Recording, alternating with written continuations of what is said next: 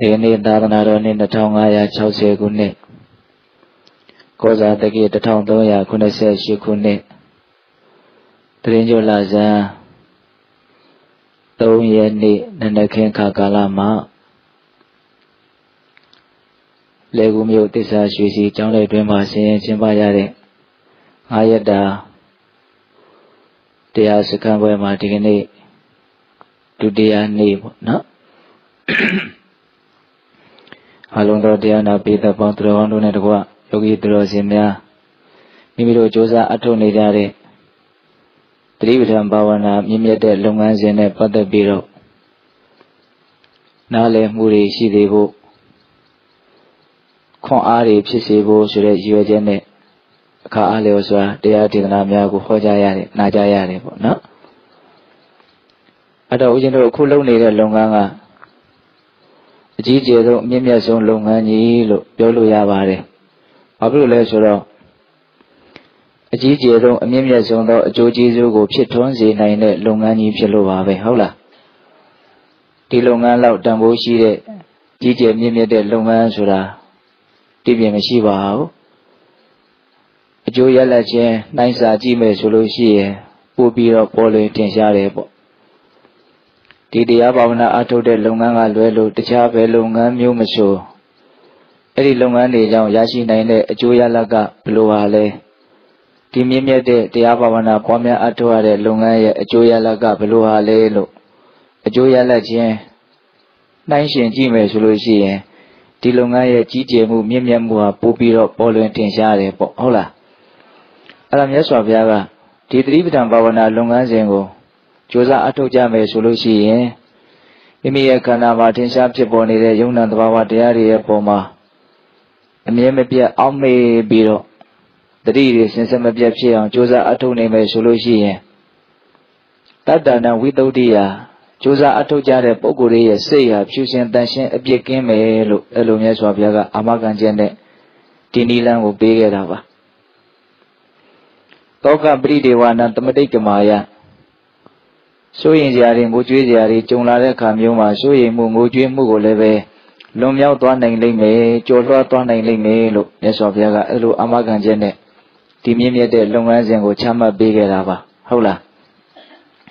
ဒုက္ခဒေါမနတနာအထင်ကမာယကိုရှင်ရဲ့ချင်းဒုက္ခနဲ့စိတ်ဆင်းရဲခြင်းဒေါမနတတရားတို့ကိုအပြည့်အချုပ်ငိမ့်သွားစေလိမ့်မယ်ဆိုတဲ့အကျိုးကျေးဇူးကိုလည်းရနိုင်လိမ့်မယ်ဆိုတဲ့အမခံချက်နဲ့ ဒီတတိပဋ္ဌာန်ဘာဝနာလုပ်ငန်းစဉ်ကိုမြတ်စွာဘုရားဟောခဲ့တာညာယတအဓိကမာယသစ္စာလေးပါးကိုတွတ်တွင်းပြီးတော့သိတဲ့မဲ့ဉဏ်ကိုရပြီးတော့နိဗ္ဗာန်တသစ္စိကိရိယာယဒီဘဝမသေးခင်မှာကိုပဲနိဗ္ဗာန်ချမ်းသာကိုဖုန်ဉဏ်ဖြင့်ကျင့်ပံများစွာမျက်မှောက်ပြုပြီးတော့နေနိုင်လိမ့်မယ်လို့အဲ့ဒါလိုမြတ်စွာဘုရားကအထွတ်အထိပ်အကျိုးအာနိသင်ကိုပြဟန်ပြီးတော့ဒီတတိပဋ္ဌာန်ဘာဝနာလုပ်ငန်းစဉ်ကိုမြတ်စွာဘုရားဟောပြခဲ့တာဟုတ်လားဒါကြောင့်ကိုလုပ်နေတဲ့လုပ်ငန်းစဉ်ဟာ ဘယ်လုပ်ငန်းမျိုးနဲ့မဆိုနှိုင်းရှင်ပဲဆိုလို့ရှိရင်အထက်ဆုံးမှာအမြင့်ဆုံးမှာရှိနေတယ်ဆိုတာမသေးကြဘူးလားဗျာသေကြတယ်နော်အကျိုးရလက်ချင်းဒါဥရှင်တော်ကနှိုင်းရှင်ပြီးတော့ကြည်တာပေါ့ဟုတ်လား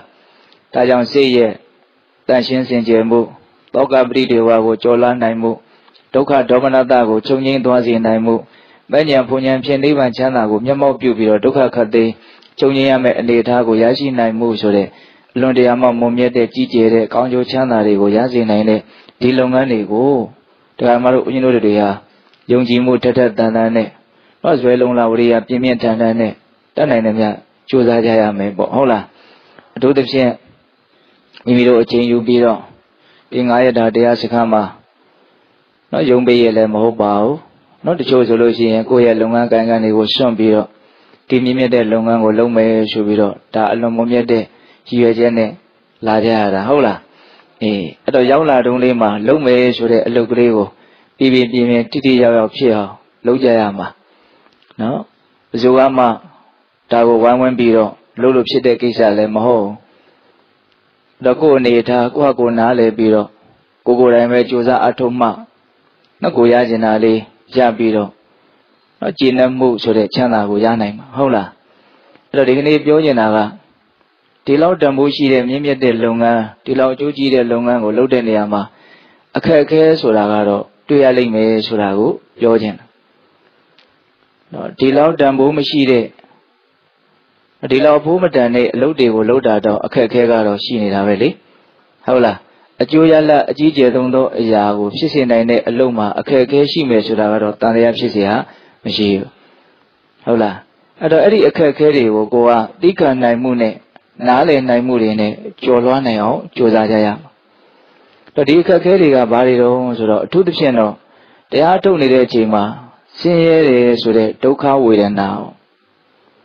အေးဒုက္ခဝေဒနာကြီးကတရားဓမ္မတို့ဦးဇင်းတို့အခုထိုင်နေတဲ့အချိန်မှာဒါအကြီးအကျယ်အစင်မပြေမှုကြီးလို့များသောအားဖြင့်ထင်ကြတာပေါ့နော်တရားဓမ္မကသူဟာဟိုအစင်မပြေမှုကြီးလို့ပြောမယ်ဆိုရင် မကြောမကြောလွှားနိုင်ဘူးဆိုရင်တော့အစင်မပြေမှုကြီးပါပဲအကျော်လွှားနိုင်မယ်ဆိုရင်တော့လည်းပဲသူဟာအတွေ့အကြုံတစ်ခုပါပဲဟုတ်လားဒါကတော့တေချာပေါက်တွေ့ရဒုက္ခဝေဒနာဆိုတာဘာလို့တွေ့တာတော့ဒုက္ခဝေဒနာတွေဘာလို့ဖြစ်တာတော့ဣရိယာပုဂ္ဂိုလ်မပြောင်းလဲပဲနဲ့ဒီတိုင်းထိုင်နေမှာတော့ဒုက္ခဝေဒနာကဖြစ်လာမှာပဲလေဒါပါဘာမှစမ်းကြတဲ့ကိစ္စမဟုတ်ဟုတ်လားတွေ့ကြောလေကြောတွေကအကုန်လုံးဖိရိပြီးတော့ထိုင်ထားတဲ့အခါကျတော့ ခံရခက်တယ်ဆိုတဲ့ဝေဒနာကဒါဖြစ်လာမှာပဲတော့တရားထိုင်လို့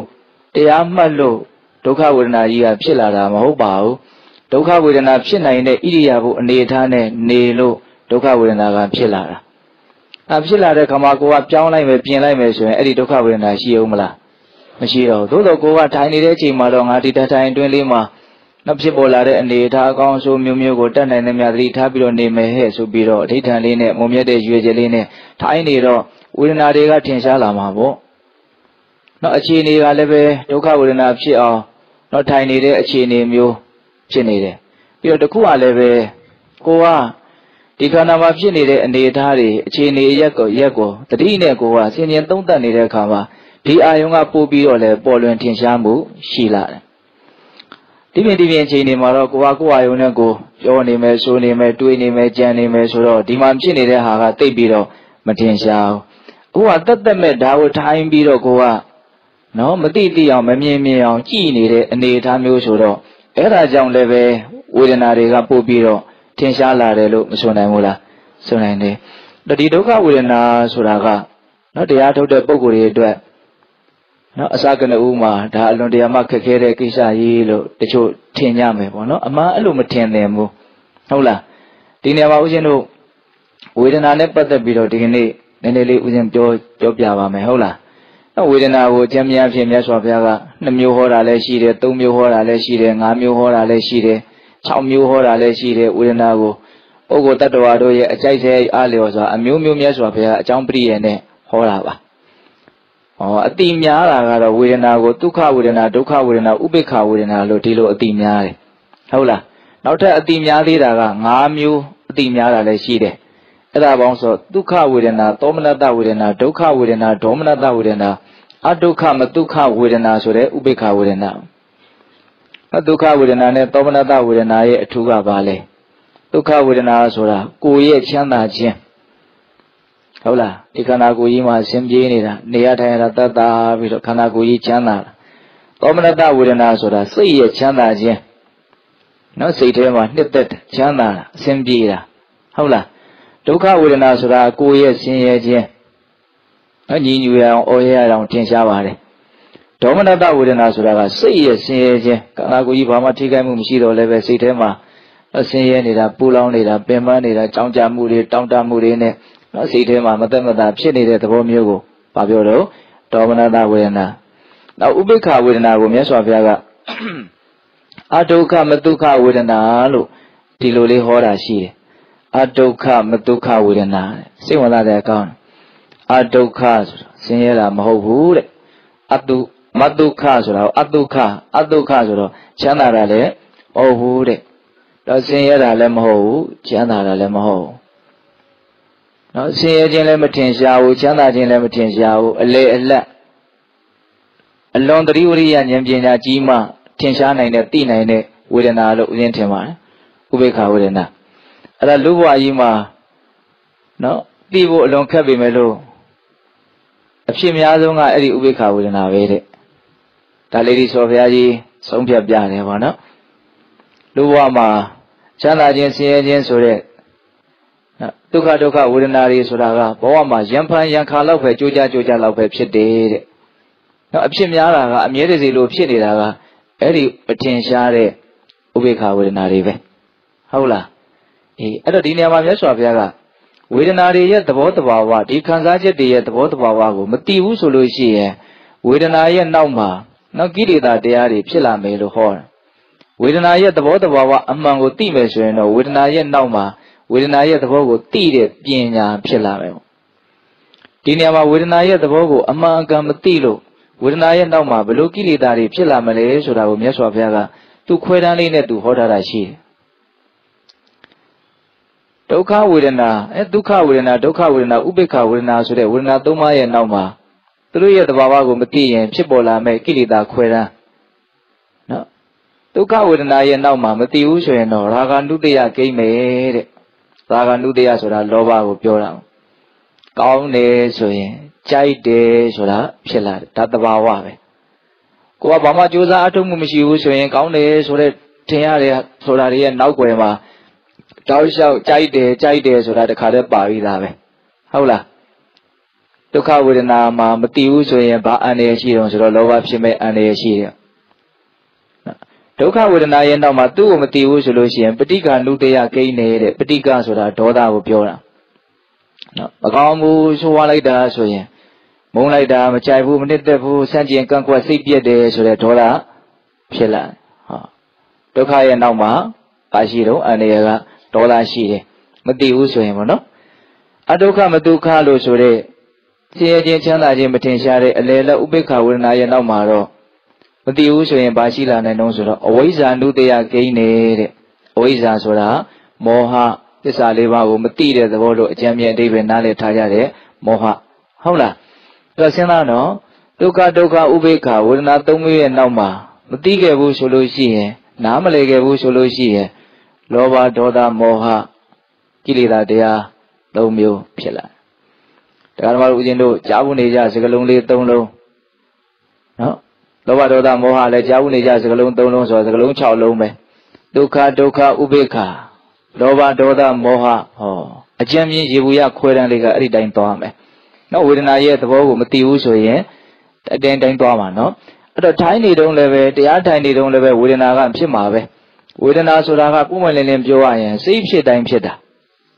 နော်ဝေဒနာကိုမဖြစ်အောင်လုပ်လို့မရအောင်နော်ဦးဇင်းတို့ ခန္ဓာစီရဲ့ပုံမှာဝေဒနာဧည့်သည်များဆိုတော့ဧည့်သည်နဲ့တူသောရာများဆိုတော့တရားလေးတပုဟောထားတာရှိတယ်နော်ဒီခန္ဓာကိုယ်ကဇေယကြီးပဲမြတ်စွာဘုရားရဲ့အလိုတော်ရခန္ဓာကိုယ်ဟာပါကြီးတော့ဇေယကြီးပဲတဲ့ဒုက္ခဒုက္ခဥပိ္ပခာဆိုတဲ့ဝေဒနာတွေကတော့အဲ့ဒါလာရောက်တဲခိုကြတဲ့ဧည့်သည်တွေပဲတဲ့အဲ့ဒါမြတ်စွာဘုရားကအဂါရတုတ်တံမှာအဲ့ဒီတိုင်းဟောထားတာယဟန်တို့တဲ့လမ်းစုံလမ်းကလမ်းလေးကွာမှာလူတကာတဲခိုဖို့စောက်ထားတဲ့ဇေယကြီးတစ်လုံးရှိတယ်ဆိုကြပါစို့ နော်အဲ့ဒါရက်လေးမျက်နှာရက်ရှင်းမျက်နှာကအလွှာမျိုးစုံကလူမျိုးအသီးသီးလာရောက်ပြီးတော့တဲခိုကြမယ်ဇေယကြီးဆိုတော့ဇုမတော့မြေတော့နေမှာတော့မဟုတ်ဘူးရောက်လာတဲ့တဲခိုတဲ့ပြီးပြန်သွားကြတယ်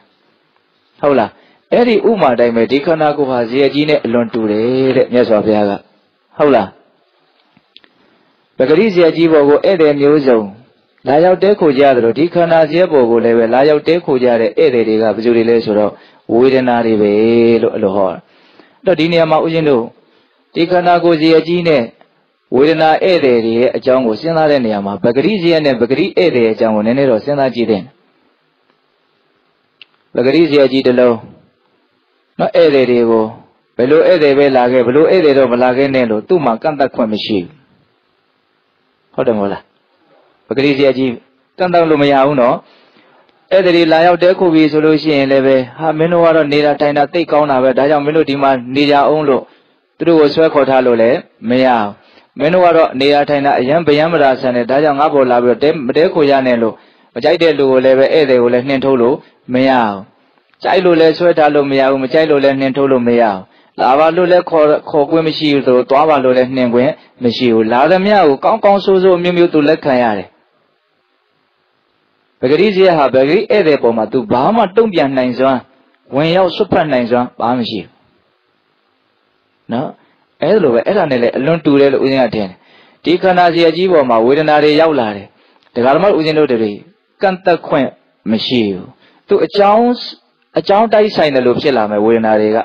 နောက်ဒုက္ခဝေဒနာဖြစ်เสียအကြောင်းရှိရင်ဒုက္ခဝေဒနာဖြစ်မယ်ဒုက္ခဝေဒနာဖြစ်เสียအကြောင်းရှိရင်ဒုက္ခဝေဒနာဖြစ်မယ် ဒုက္ခဒုက္ခဖြစ်ခြင်းသည် ကိုယ်သဘောကိုယ်ဆန္ဒပေါ်မှာမူတည်တာမဟုတ်အကြောင်းတရားပေါ်မှာမူတည်တာဟုတ်ကိုယ်သဘောကိုယ်ဆန္ဒအလျောက်ဝေဒနာတွေဖြစ်ခွင့်ရှိတယ်ဆိုရင်ဆင်းရဲတဲ့လူရဲ့လို့ပဲရှိမလဲနော်ဆင်းရဲတဲ့ဝေဒနာတွေမလာခဲ့နဲ့မင်းတို့လာခွင့်မရှိဘူးဟုတ်လားချမ်းသာတဲ့ဝေဒနာတွေပဲလာခဲ့လို့ကိုကန့်တတ်ထားမှာအဲ့လိုလုပ်လို့ရသလားမရဘူးနော်ဆင်းရဲတဲ့အကြောင်းကြုံရင်ဆင်းရဲမှာပဲချမ်းသာတဲ့အကြောင်းကြုံရင်ချမ်းသာမှာပဲ တချို့ကကပ်ပြီးတော့ပြောခြင်းပြောမှာပေါ့ဥစဉ်ရဲ့ကောင်းတာလေးတွေသွားစားလိုက်ရင်အခုတောက်လျှောက်ဒုက္ခဝေဒနာဖြစ်တယ်ဒါတပည့်တော်လှုပ်လိုက်တာတပည့်တော်အစွမ်းငါအစွမ်းလို့တို့ကထင်ကောင်းထင်မယ်အဲ့ဒါငါအစွမ်းမဟုတ်ပါဘူးကောင်းတာစားလို့ချမ်းသာတယ်ဆိုတာအစာနဲ့ရှာရဲ့အစွမ်းဘယ်လိုအစွမ်းတော့ဒါတော့ကိုကကိုကိုအစွမ်းထင်နေတာဟုတ်လားအဲရှာမကောင်းဘူးကျမကြီးဟောလို့လို့စားရင်သိတောက်ချင်သိမရှိဘူးဆိုရင်လေဘလောက်ကောင်းတာတွေစားစားမကောင်းပါဘူး နော်အစာအာဟာရကိုမျောလင်းတဲ့အတိုင်းအစင်မပြေဖြစ်နေမယ်ဆိုရင်လည်းစားရင်လည်းဒေါသဖြစ်ရအောင်မယ်ဟုတ်လားအဲ့တော့ပြောရင်တာကပဂရိဇယဟာပဂရိဧည့်သည်တွေရဲ့ပုံမှာကန့်တတ်ချုပ်ချယ်လို့မရတယ်လို့ဒီခန္ဓာဇယဟာလည်းဝေဒနာဧည့်သည်တွေကိုကန့်တတ်ချုပ်ချယ်လို့မရဘူးအကြောင်းရှိသည့်အားလျော်ဆိုတာသူတို့ရောက်လာမှာပဲအဲ့တော့ဒီဝေဒနာဟိုမြတ်စွာဘုရားကဧည့်သည်လို့ဟောတဲ့ဒေသနာကိုတေချာစဉ်းစားကြည့်ရင်ဒီဧည့်သည်ကမလာအောင်တားလို့မရဟုတ်လား ဝေဒနာမဖြစ်အောင်လုပ်လို့မရအဲ့တော့ဝေဒနာကဘာလုပ်ရမှာလဲလို့မေးရင်နားလေအောင်လုပ်ရမှာအလုပ်ရမှာနားလေအောင်လုပ်ရမှာနားလေအောင်လုပ်ရမှာတော့နားလေမှတစ်ဆင့်တက်ပြီးတော့ခန္ဓာကြီးရှိတယ်သိခံနိုင်တယ်ဆိုတာတွေကဖြစ်လာမှာနားလေတာကပညာပဲခန္ဓာကြီးရှိတယ်ဆိုတာကခန္တီပဲဟုတ်လားအဲ့တော့ဒကာဓမ္မတို့ဦးဇင်းတို့ဒီတရားလုပ်ဖို့အထုတ်တဲ့နေရာမှာဦးဇင်းတို့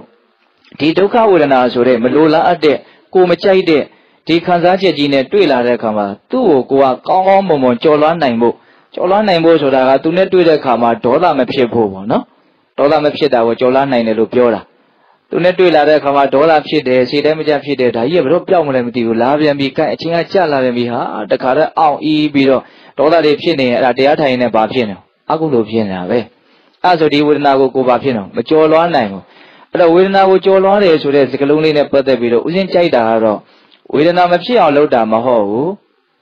ဟုတ်လားဖြစ်လာတဲ့ဝေဒနာနဲ့ပတ်သက်ပြီးတော့ကိလေသာမဖြစ်တာကိုဝေဒနာကိုကြော်လွှမ်းနိုင်တယ်လို့ဒီလိုပြောခြင်းတယ်တော့ပေါက်လာဗျဒုက္ခဝေဒနာမှဖြစ်တာမဟုတ်ဘူးဒုက္ခဝေဒနာလည်းဖြစ်တာပဲเนาะဒုက္ခဝေဒနာဖြစ်ရင်လည်းမသိရင်ဘာဖြစ်မှာတော့အန္တရာယ်ကယာခဆိုတဲ့ဆွဲမဲ့မှုရှိတယ်ဟုတ်လားခုလူတွေက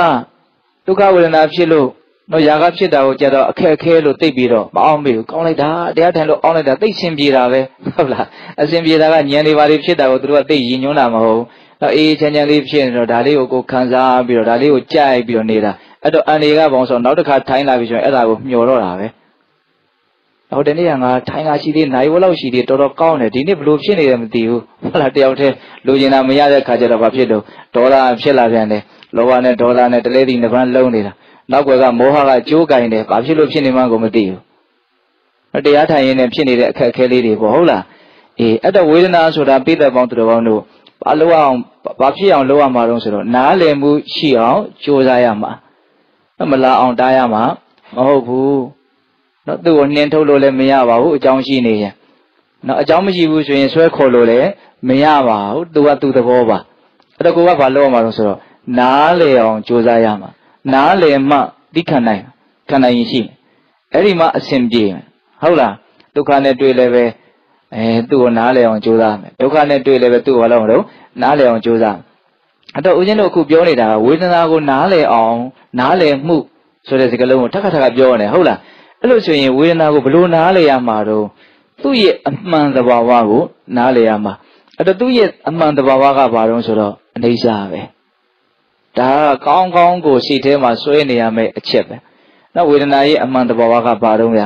အနေစာပဲတီးနေတာမြင်နေတာမဟုတ်ဘူးစောစောကမြတ်စွာဘုရားပြောတဲ့ဒေသနာရပြောမှဆိုဧည့်တယ်ပဲလေအကြောင်းရှိလို့ရောက်လာတယ်ပြီးရင်သူအမြင်နေတာမဟုတ်နော်အဲ့ဒီအဝင်ထွက်ရှုပ်ထွေးတဲ့ဇေယကြီးတစ်လုံးကိုဒုက္ခရောက်လာလိုက်ဒုက္ခရောက်လာလိုက်ဥပေက္ခကတော့အပင်နိုင်လို့လို့သူကရှိနေတယ်ဆိုကြပါစို့ဖြစ်နေတယ်ဆိုကြပါစို့ဟုတ်လားအေး အဲ့တော့ဝေဒနာရဲ့သဘောကိုနားလည်ရမယ်ဆိုတာဘာကိုနားလည်ရမှာလို့ပြောတာလဲသူတို့ဖြစ်လာတယ်မြဲနေနေတာမဟုတ်ဘူးသူတို့ဟာမတည်တဲ့မမြဲတဲ့သဘာဝတရားဆိုတဲ့အနိစ္စအချက်ကိုမြင်အောင်ကြည့်ရမှာနော်အသစ်ဖြစ်လာတယ်အဲ့ဒါမရှိတော့ဘူးနောက်ထပ်ထပ်ဖြစ်တယ်တခါလေဒုက္ခတွေဖြစ်နေတယ်ဥစဉ်ရဲ့ဒုက္ခတွေကအချားကြီးဖြစ်နေတာဘယ်နာဘယ်ချိန်ပြတ်သွားတာလဲလို့ထင်ကောင်းထင်မယ်နော်အဲ့ဒါကဒုက္ခပြီးဒုက္ခဆက်နေတာ ကိုကဒါကိုပိုင်းဖြတ်ပြီးတော့မကြည့်နိုင်တဲ့အခါကျတော့အဆိုင်ခဲကြီးတစ်ခုနေနဲ့အလုံးခဲကြီးတစ်ခုနေနဲ့အကြီးကြီးထင်တော့ကိုယ်အများကြီးလွှမ်းမိုးသွားတကယ်တမ်းကကိုကပိုင်းဖြတ်နိုင်ဖို့လိုတယ်အဲ့မှာစောစောကလှုပ်ထားတဲ့ပစ္စုပန်ပစ္စုပန်ဆိုတာလေးဟုတ်လားအခုလုံးလုံးစေဖြစ်နေတယ်ဆိုတာလေးကိုတတိအဲ့ဒီချိန်မှာအယံဝင်ဖို့လိုတယ်နော်တတိကဆင်းဆက်မပြတ်ဝင်နေဖို့လိုတယ်နော်ခုခံစားတာကိုတီးလိုက်တယ်ခံစားတာကိုတီးလိုက်တယ်တီးလိုက်တယ်တီးလိုက်တယ်အတိထက်ထက်ထက်ထက်ပြီးတော့လိုက်ရမယ်ဟုတ်လားအဲ့တော့စောစောကတီးလိုက်တာနဲ့စောစောက အတိခံရတဲ့ခံစားမှုကတကယ်တမ်းကမရှိတော့ဘူးနော်နောက်တိတာနဲ့နောက်တိနောက်တိတာကိုခံရရတဲ့ခံစားချက်ဒါပဲလေဒီလိုအတွဲလိုက်တွဲလိုက်သူသွားနေတာဒါကတတိအရန်စိတ်မှပေတတို့သိနိုင်တာနော်ဆင်ကျင်တာနဲ့သိတာကသိပြီးတော့အရေးမပါလာဘူးဗောနော်ဒီနေရာမှာဟိုကုသိုလ်မရဘူးလို့မဆိုလိုပါဘူးဆင်ကျင်ဉာဏ်နဲ့သိတာလည်းပဲအများကြီးကောင်းပါတယ်စိတ်ဓာမရဉာဏ်နဲ့သိတာဟုတ်လားသို့တော့ဒီနေရာမှာတတိထားပြီးတော့ဒါရိုက်ထားနေတော့တတိထားနေတော့သူ့ကိုကြည့်နေတော့မှပဲ तू ကမရှိတော့ဘူးနောက်ထပ်တစ်ခုဖြစ်နေတယ်အဲ့ဒါကိုကြည့်နေတော့မှပဲအဲ့ဒါမရှိတော့ဘူးနောက်ထပ်တစ်ခုထပ်ဖြစ်လာပြန်တယ်အဲ့ဒါလိုလက်တွေ့နော်ဝေဒနာကိုကြည်ရင်းနဲ့ဝေဒနာရဲ့မရှိတော့တဲ့သဘောမရှိတော့တဲ့သဘောဒါကိုဘာလို့အောင်မြင်အောင်ကြိုးစားမယ်အဲ့လိုမြင်ဖို့ဆိုရင်ဘာအားကောင်းအောင်တတိအားကောင်းရမယ်တတိအားကောင်းဖို့ဆိုရင်ဘာအားကောင်းမလဲဝရိယအားကောင်းရမယ်ဝရိယအားကောင်းဖို့ဆိုရင်ဘာအားကောင်းမလဲတရားအားကောင်းရမယ်နော်ယုံကြည်မှုထက်သန်မှကြိုးစားမယ်ကြိုးစားမှတတိတွေစိတ်မယ် တတိတွေစိတ်မှဆုဆိုင်နေစွမ်းတည်ငြိမ်မှုဆိုတဲ့စိတ်ရဲ့စွမ်းရည်တတိရှိမယ်အဲ့ဒီကြမှာတိတယ်မြင်တယ်ဆိုတဲ့ပညာလေးကဖြစ်တယ်နော်သရဝရိယတတိသမารိပညာဒီတရားငါးလုံးကမပါလို့ရကုန်မရဘူးနော်အေးအဲ့တော့ဝေဒနာရဲ့သဘောကိုအမှန်သိရမယ်ဆိုတဲ့နေရာမှာဝေဒနာရဲ့သဘောအမှန်ကဘာလို့အနေစာဟုတ်ရဲ့လားအဲ့ဒီအနေစာမတီးတဲ့မမြဲတဲ့အကြောင်းကိုအများကြီးနားလည်အောင်ကြိုးစားရမယ်အခုဦးဇင်းဆက်ပြီးတော့ပြောရင်တာက တတိတလက်ဆက်ထားပြီးတော့ဝေဒနာဟာမတည်မြဲတဲ့သဘာဝပဲလို့သိအောင်လုပ်ရမှာအခုလောလောဆယ်ကဟုတ်လားအေးကြံတဲ့အခြေအနေမှာလည်းပဲဝေဒနာရဲ့သဘာဝဟာမတည်မြဲတဲ့သဘောဖြစ်တယ်ဆိုတာကိုမှန်မှန်ကန်ကန်စဉ်းစားဆင်ခြင်တဲ့စိတ်တာမယဉာဏ်လေးနဲ့လည်းပဲဝေဒနာဟာမတည်မြဲဘူးလို့ကြင်ပံများစွာစဉ်းစားဆင်ခြင်ဘူးဖို့လည်းလိုတယ်အဲ့ဒါလည်းပဲအထောက်အကူအများကြီးပြုနိုင်တယ်နောက်အဲ့ဒါနဲ့ပတ်သက်ပြီးတော့ဦးဇင်းတို့ဝေဒနာဟာမတည်မြဲတဲ့သဘာဝဖြစ်တယ်ဆိုတာကိုမြတ်စွာဘုရားကဒေသနာတော်တွေထဲမှာ အထူးသဖြင့်တလယတနာဝကတန်ယုတ်ပါဠိတော်ဝေဒနာတန်ယုတ်ထဲမှာမြတ်စွာဘုရားအများကြီးဟောထားတာရှိတယ်ဟုတ်လားဝေဒနာရဲ့သဘောတွေအများကြီးဟောတယ်အဲ့ဒီဝေဒနာတန်ယုတ်ထဲမှာဟုတ်လားအဲ့ဒီထဲမှာဦးဇင်းတို့မြတ်စွာဘုရားဘယ်လိုဟောတော့ဆိုတော့ဝေဒနာတွေဆိုတာတဲ့ဒီမမြဲသောခန္ဓာကိုယ်ကြီးကိုကြောင်းပြုတ်ပြီးတော့ဖြစ်တာတဲ့ခန္ဓာကိုယ်ကြီးကမှမမြဲပါဘူးဆိုရင်မမြဲတာကြီးကိုအကြောင်းပြုတ်ပြီးတော့ဖြစ်လာတဲ့ခံစားချက်ဝေဒနာတွေကဘယ်နည်းနဲ့မှအမြဲဆိုတာမဟုတ်ဘူးလို့မြတ်စွာဘုရားအဲ့လိုဟောတာ ဟုတ်လားအဲ့ဒီမှာအကြောင်းမမြဲလို့အကျိုးမမြဲဘူးဆိုတာလေးကိုစဉ်းစားပုံစဉ်းစားနည်းကလေးဒါမြတ်စွာဘုရားဟောတာဟုတ်လားအဲ့ဒါကိုဦးဇင်းတို့ပို့ပြီးတော့ခြေခြေပြန့်ပြန့်တွေ့ရတဲ့ဒေသနာတစ်ခုကနော်နန္တကောဝါဒသုတ်တံဆိုပြီးတော့ဦးဇင်းတို့သုတ်တံတစ်ပုဒ်ရှိတယ်ယဟန္တာရှင်တန္တကမထေကပိခုနီမတွေကိုဟောထားတဲ့တရားဒေသနာတစ်ပုဒ်ပေါ့နော်အတူတူကလေးပဲဦးဇင်းတို့ပြောဖို့အချိန်ရှိတယ်ဟုတ်လားအဲ့ဒီမှာဘိက္ခုနီမတွေကိုရှင်တန္တကက မျက်စိနန္တာလျာကိုစိတ်ဆိုတဲ့အတွင်းအာယတနာ6ပါးတွာရ6ပါးရဲ့ယူပါယုံတတ္တယုံကန္တယုံရတ္တယုံဖုဒ္ဓဘာယုံဓမ္မာယုံလို့ဆိုတဲ့အပြင်အာယတနာ6ပါးအာယုံ6ပါးရဲ့နော်ဒီဇာတာကို12ပါးအာယတနာ12ပါးပေါ့နော်နောက်ပြီးတော့သူ့တွာရသူ့အာယုံတွေ့ကြတဲ့အခါမှာသက္ခုဝိညာဉ်သောတဝိညာဉ်ခန္ဓာဝိညာဉ်ဇေဝဝိညာဉ်ကာယဝိညာဉ်မနောဝိညာဉ်လို့ဆိုတဲ့ဝိညာဏတ္တ6ပါးရဲ့သောတော်က12ပါးတဲ့ကိုခုဝိညာဏတ္တ6ပါးထည့်လိုက်တော့ 18ပါးဖြစ်တယ်ဟောအဲ့ဒီ18ပါးကိုကြတော့အသုံးအနှုန်းလေးကဘာလဲတော့ဓာတ်18ပါးတဲ့ပေတတို့ကျွမ်းကျင်တယ်နော်အေးအဲ့ဒီဓာတ်18ပါးရဲ့မတီမြဲပုံကိုမေးဖြေပြီးတော့အသေးစိတ်ဟောပြီးတဲ့နောက်မှာအဲ့ဒီယန္တာရှင်နန္ဒကမထေကဘိက္ခုနီမတွေကိုဘာဟောတော့ဆိုတော့ဝေဒနာတို့ရဲ့မတီမြဲပုံကိုဟောပြတယ်ဝေဒနာတို့ရဲ့မတီမြဲပုံကိုဟောခြင်းလို့စောစောကဝေဒနာတွေဖြစ်ခြင်းရဲ့အကြောင်းတရားဖြစ်တဲ့မျက်စိနန္ဒလျာကိုစိတ်နဲ့တကွ အာယုံ6ပါးရဲ့မတီမြဲပုံကိုသူအရင်စကင်လိုက်တယ်လို့ဒါဥစဉ်ကတွေးကြည့်တာပေါ့နော်အဲ့ဒီမှာဝေဒနာရဲ့မတီမြဲပုံကိုမထေကြီးကဥပမာနှစ်ချက်ပေးပြီးတော့ဟောတယ်အဲ့ဒီဥမာလေးကတော့အရန်ကောင်းတယ်ပိသက်တို့လည်းကြားဖို့ပါလေဒါပေမဲ့ဒီနေရာမှာအသုံးချရမယ်ဟုတ်လားဘာဟောတုံးဆိုတော့နှမတို့တဲ့စီမီးခွက်လေးတစ်ခွက်တောင်းနေတာကိုကြည့်ပါတဲ့မီးတောင်းနေတယ်ဆိုတော့အောက်ကစီကမိသားကဆွဲဆုပ်တာကိုခံရတယ်ပြီးတော့အဲ့ဒီစီကိုတောက်သွားတယ်စီကလည်းအောက်ကတလက်ဆက် မိကိုကြွေးကြွေးနေရတယ်ဆိုတော့စီကပါကုံနဲ့ခန်းတဲ့သဘောရှိတယ်ဟုတ်လားအဲ့လိုပဲမိစာကလည်းမိကအမြဲတမ်းလောင်ကျွမ်းနေတာဆိုတော့ကုံနဲ့ခန်းတဲ့သဘောရှိတယ်နော်စီလည်းပဲမတည်မြဲဘူးဖောက်ပြန်တဲ့သဘောမိစာကလည်းမတည်မြဲဘူးဖောက်ပြန်တဲ့သဘောအဲ့လိုဆိုရင်မီးတောက်ကလေးလှုပ်လှုပ်လှုပ်လှုပ်နဲ့တောက်နေတဲ့မီးတောက်ကလေးကဟောဆိုတော့သူလည်းပဲမတည်မြဲဘူးဖောက်ပြန်တဲ့သဘောဘာလို့လဲတော့မီးစာရောစီရောအစ်စ်အစ်စ်ကိုသူလောင်ရတယ်ဟုတ်လားစောစောကလောင်သွားတာနဲ့မီးနဲ့တခါတည်းပြီးတယ် ကြောက်တယ်ဟုတ်လားနောက်ထပ်အစ်စ်စီနဲ့မီးစာနဲ့ကိုလောင်တဲ့မီးတောက်ကအစ်စ်အစ်စ်ဖြစ်တယ်ဟုတ်လားအချိန်တိုင်းမီးတောက်ကအစ်စ်အဟောင်းအပြောင်းလားပြောင်းတယ်သုံးချက်နော်မီးစာအစီရဲ့မီးစာရဲ့မီးတောက်ရဲ့အဲ့ဒါကိုမထေမြတ်ကြီးကဘာဟောတုံဆိုတော့နှမတို့တဲ့စီဟာလည်းမတည်မြဲဘူးဖောက်ပြန်တဲ့သဘောရှိတယ်မိစားလည်းမတည်မြဲဘူးဖောက်ပြန်တဲ့သဘောရှိတယ်မိတောက်ကလည်းမတည်မြဲဘူးဖောက်ပြန်တဲ့သဘောရှိတယ်ဒါအလွန်ရှင်းတယ်ပေါ့နော်အဲ့ဒါလို့စီရောမိစားရောမိတောက်ရောမတည်မြဲပါပဲနဲ့ အဲ့ဒီမတည်မြဲတဲ့အရာသုံးခုကြောင့်ဖြစ်လာတဲ့မီးရောင်ကိုကြားမှာတည်မြဲတယ်လို့ပြောရင်ဖြစ်နိုင်မလားတဲ့မီးရောင်မီးရောင်ဟုတ်လားစီလည်းမမြဲဘူးမိစားလည်းမမြဲဘူးမိတောက်လည်းမမြဲဘူးဆိုရင်တေချာပေါက်မီးရောင်ဒီမမြဲဟုတ်တယ်မို့လားသူ့ကြမှာမြဲတယ်လို့လို့မရအောင်နော်သူဖြစ်ခဲ့တဲ့သူအခြေခံခဲ့တဲ့အကြောင်းတရားတွေမှာမမြဲဘူးဆိုသူဟာတေချာပေါက်မမြဲအဲ့ဒီဥမာတိုင်းပဲတဲ့ခံစားချက်ဝေဒနာအကောင်းအဆိုးအမျိုးမျိုး ဒီဒုက္ခဒုက္ခဥပိ္ပခာဆိုတဲ့ဝေဒနာတွေဟာမျက်စိနာနာလျာကိုစိတ်လို့ဆိုတဲ့အတွင်းအာယတနာ6ပါးအစ္စတိကယတနာလို့သုံးတယ်နော်အဲလူငယ်တွေနားလည်အောင်ပြောတော့ဒီခန္ဓာကိုယ်ကြီးလို့လည်းပြောလို့ရပါတယ်ဟုတ်လားအဲ့ဒီအတွင်းအာယတနာ6ပါးကြောင့်ဒီခံစားချက်ဝေဒနာတွေဟာဖြစ်လာတာတဲ့ဒါတိချာစဉ်းစားမျက်စိရှိလို့ခံစားမှုဆိုတာဖြစ်လာတာနားရှိလို့နှာခေါင်းရှိလို့လျှာရှိလို့ခန္ဓာကိုယ်မှာတွေးထိတာကိုသိနိုင်တဲ့ကာယပတ္တာကြီးရှိလို့စိတ်ရှိလို့ခံစားချက်ဆိုတာဖြစ်လာတာအဲ့ တော့ခံစားချက်ရဲ့အကြောင်းတရားဖြစ်တဲ့အဲ့ဒီမျက်စိနာနာလျှာကိုယ်စိတ်ဆိုတဲ့သဘာဝတွေဟာတည်မြဲတဲ့သဘောတွေလားမဟုတ်ဘူးမျက်စိမမြဲလို့မို့မျက်မှန်စွရတယ်တီးနေမယ်မြင်းနေမယ်မွေးရစားဒီတိုင်းဆိုရင်ဘယ်အချိန်မှအပြောင်းလဲမရှိဘူးဆိုရင်ဒီလိုပြောင်းလဲသွားကြအကြောင်းမရှိဘူးမခက်ခက်တာကလူတွေက40လောက်ကြာမှပြောင်းသွားတယ်လို့ထင်တယ်ဒါအလွန်မှားတာပဲဘယ်ချိန်ပြောင်းတာလဲအချိန်တိုင်းပြောင်းတာအချိန်တိုင်းပြောင်းတာနော်အချိန်တိုင်းပြောင်းနေတာညံထဲမှာမြင်နိုင်တယ် နော်40လောက်ကြာမှပြောင်းတယ်50လောက်ကြာမှပြောင်းတယ်ဆိုတာကပဂတိမျက်စိနဲ့မြင်ရတဲ့အပြောင်းလဲပေါ့ဟုတ်လားအဲ့ဒီကြတော့မဟာမင်းမျက်မှန်ကြီးနဲ့ပါလားဟုတ်လားအဲ့ဒါကတော့ပဂတိမျက်စိနဲ့မြင်ရတဲ့အပြောင်းလဲပေါ့နော်ညံနဲ့မြင်ရတဲ့အပြောင်းလဲကဘယ်ချိန်ပြောင်းလဲအချိန်တိုင်းပြောင်းတယ်ဖြစ်ကြရစပြောင်းတယ်ဟုတ်လားအဲ့ဒါပြောချင်တာကမတည်မြဲသောဒီအတွင်းအာယနာ6ပါးကိုအကြောင်းပြုပြီးတော့ဖြစ်တဲ့ဝေဒနာတွေဟာတေချာပေါက်မတည်မြဲဘူးလို့အဲ့လိုမျိုးဟောတာဟုတ်လားအကြောင်းမမြဲရင်အကျိုးမမြဲဘူးပေါ့ဆိုလိုတာက ဒါကပထမပေးတဲ့ဥပမာပေါ့နော်နောက်ဦးဇင်းတို့ဒုတိယပေးတဲ့ဥပမာကဘာလို့ဆိုတော့နှမတို့တဲ့တစ်ပင်ကြီးတစ်ပင်ကိုကြည့်ပါတဲ့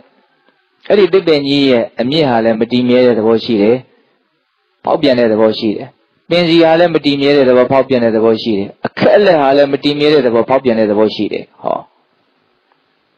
သုံးမျိုးပြောတယ်နော်အမြင့်ရဲ့ပင်စီရဲ့အခက်လက်ရဲ့ ဘာမတည်မြဲဘူးဆိုတာပေးတဲ့တော့ပဂရိမျက်စိနဲ့တော့မမြင်ရဘူးသစ်ပင်ကြီးကြီးအခုကြည့်လဲဒီပုံစံတော့ကြာကြည့်လဲဒီပုံစံလို့ထင်ရတယ်ဒါပေမဲ့အခက်လက်တွေကတော့နော်မိုးကနဲ့ဆောင်းကຫນွေကအပြောင်းလေးတွေလောက်ဖြစ်ရင်ကိုပဲပုံပြောင်းသွားတယ်ဆိုတာသိရတယ်ဒါပေမဲ့ကျန်တဲ့အမြင့်တွေပင်စီတွေလည်းတကယ်တမ်းကတော့အမြဲတမ်းပြောင်းနေတာပဲမျိုးစီဘဝတွေကနေအညွန့်ညောင်လေးဖြစ်လာတဲ့အနေအထားနဲ့ဒါကြီးဖြစ်သွားတာပဲလေဟုတ်တယ်မို့လားဒါတက်နေတဲ့အချိန်မှာတော့လေတက်တဲ့အနေနဲ့မပြောင်းပြောင်းလဲနေတယ်ပေါ့ပြီးရင်လည်းပြန်ကြပြီးတော့ဒါသေသွားအောင်ပါပဲ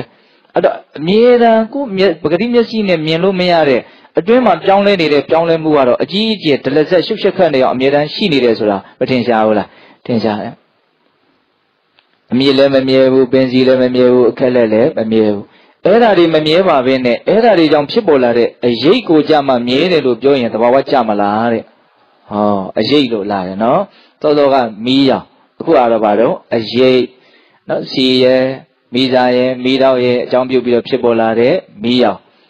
အမြင့်ရဲ့ပင်စီရဲ့အခက်လက်ရဲ့ကိုအကြောင်းပြုပြီးတော့ဖြစ်ပေါ်လာတဲ့အရေးဟုတ်လားအေးအဲ့ဓာတွေမမြဲဘူးဆိုလို့ရှိရင်ဝေဒနာတွေဟာလည်းပဲ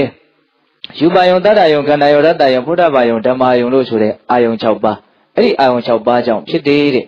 အဲ့ဒီအာယုံ6ပါးလည်းမမြဲဘူးတော့ဒီနေ့မှာဦးဇင်းတို့တတိထားတတိလေးတစ်ချက်ထားကြည့်နော်စောစောကယစီနာနာတရားကိုစိတ်ကြောင့်ဝေဒနာဖြစ်တယ်လို့ပြောတယ်နော် အခုဘယ်လိုပြောပြန်ပြီတော့အာယုံ6ပါးကြောင့်ဝေဒနာဖြစ်တယ်လို့ပြောတယ်နော်တူသလားတူဒါကစုံအောင်ပြောလိုက်တဲ့သဘောပဲသဘောပေါက်ရလားဗျအေးအဲ့လိုဆိုရင်မတည်မြဲသောအာယုံ6ပါးကြောင့်ဖြစ်ပေါ်လာတဲ့ခံစားချက်ဝေဒနာတွေတေးကြပါဦးမတည်မြဲဘူးလို့အဲ့ဒါကိုနားလည်ရမယ်ဒါကဦးဇင်းတို့နန္ဒဂောဝါဒသုတ်တံမှာလာတဲ့အနှစ်ချုပ်လေးပေါ့ဟုတ်လားအေးအဲ့တော့ပြောနေတာကဒီအခက်ခဲလို့ထင်ထားတဲ့ဝေဒနာတွေဟာတကယ်တမ်းက အလောရမှာတော့နားလည်မှုရှိအောင်လုပ်ရမယ်နော်သူတို့ရဲ့တဘာဝကိုကိုယ်ပဲတိုင်းတာထိနားလေတယ်ဘယ်လောက်ထိတိတိကျကျမြင်ထားတယ်လေသူတို့ရဲ့အမှန်တဘာဝကိုမြင်တယ်ဆိုတာသူတို့ရဲ့အနေဆဖြစ်တဲ့အနေအထားကိုမြင်တာကိုပြောတာဟုတ်လားအဲ့ဒီအနေအထားလည်းပဲနော်မြင်ပုံမြင်နီးခြင်းလည်းပဲတယောက်နဲ့တယောက်လည်းတူမှာတော့မဟုတ်နော်အနေဆကိုမြင်တဲ့နေရာမှာဟိုသူ့ရဲ့ဉာဏ်ပညာတတိဝရိယတမာတိထက်မြက်မှုပုံမှာမူတည်ပြီးတော့အကျဲအစိတ် အနုအကျမ်းဟောအရှင်းအနုအမျိုးမျိုးတော့မရှိနိုင်ဘူးလားရှိနိုင်တယ်ရှိနိုင်တယ်နော်အဲ့ဒါကိုမြင်ရင်မြင်တဲ့လောက်ဒီဝေဒနာနဲ့ပတ်သက်ပြီးတော့ကိုယ်မှာကိလေသာဖြစ်မှာမဟုတ်မမြင်မမြင်တဲ့လောက်ဒီဝေဒနာနဲ့ပတ်သက်ပြီးတော့ကိလေသာဖြစ်လိမ့်မယ်ဒါကြောင့်ကိုကဒုက္ခဝေဒနာဖြစ်လာပြီဆိုရင်အဒါကြီးကလာပြီဒါကြီးကိုဖယ်ခြင်းလိုက်ဒါကြီးပျောက်သွားရင်ကောင်းမှာဆိုတဲ့မျှော်လင့်ချက်မျိုးမထားရအောင်ဒါအကြောင်းတိုက်ဆိုင်လို့ဖြစ်ပေါ်လာတဲ့သဘာဝဒါငါနားလည်အောင်လုပ်ရမယ့်သဘာဝ ဒါငါဖြတ်တန်းသွားရမယ့်သဘာဝလို့နားလည်မယ်ကြော်လွှားသွားလို့မရဘူးဖြတ်တန်းသွားရမှာဆိုရပါစို့ဒီကနေရန်ကုန်ကိုလမ်းလျှောက်သွားမယ်ဆိုရင်နော်ဘယ်လိုလမ်းပဲဖြစ်ဖြစ်ဒါဒီလမ်းမှာရှိရတော့အကုန်လုံးဖြတ်တန်းသွားရမှာပဲလေခုနဟိုနားကျမှငါတမိုင်လောက်ကြော်သွားလိုက်ခြင်းလေဆိုလို့ရမှာမဟုတ်